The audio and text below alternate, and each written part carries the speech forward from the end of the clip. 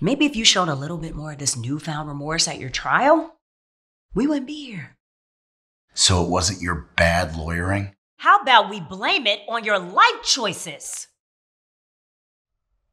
The press. I heard! I heard it all! This isn't helpful. Why don't we switch gears? We should try to prepare a statement for the press for when the governor calls.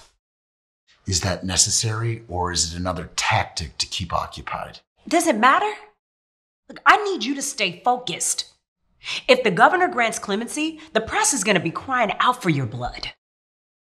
You don't want to say the wrong thing. Make the governor change his mind. Can he do that? Change his mind? Barry, Have you already prepared a statement for if they decide to go through with the execution? a good lawyer is always prepared. Oh,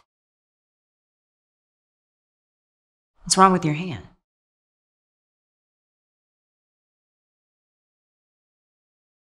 got a few splinters from it.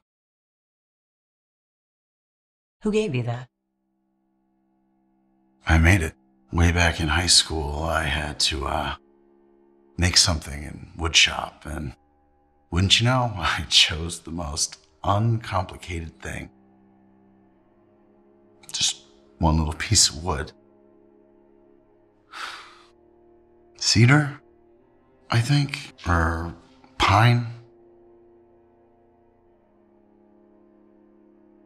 Turns out this is the most complicated thing I've ever had.